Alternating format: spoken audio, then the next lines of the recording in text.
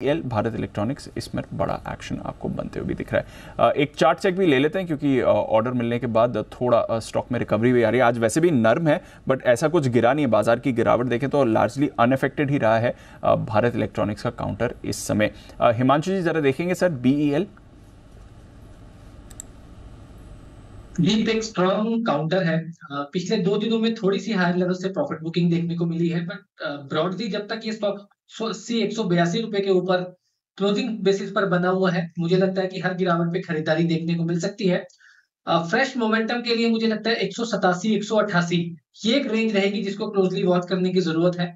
अगर इस रेंज के ऊपर ये स्टॉक निकलता है आने वाले एक से दो दिनों में तो मुझे लगता है ये स्टॉक बजट तक दो सौ रुपए की तरफ़ जाता हुआ नज़र आ सकता है। तो फ़िलहाल जिनके पास पोजीशन है स्टॉक में बने रहे।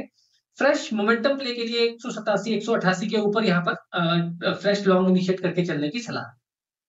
हम्म, तो ये है आपके लिए बी एल जिस पर आपको रख रही है नज़र। अच्छे ऑर्डर विन और अच्छा एक्शन इस पर बन रहा है। इस, इस बीच 2000